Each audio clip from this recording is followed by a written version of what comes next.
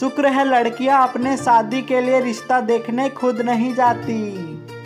वरना वहाँ जाकर बोलती, इस डिज़ाइन में दूसरा दिखाओ।